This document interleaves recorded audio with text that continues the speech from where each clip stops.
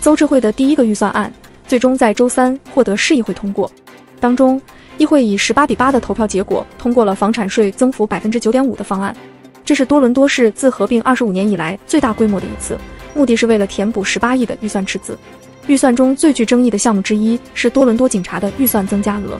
尽管市长试图将预算从两千万削减到约八百万，但最后动议以二十一比五的投票结果票通过，所以警察预算最终会增加两千万。多资处为加拿大广大华人客户提供税务规划服务，实现更高效的税务策略执行。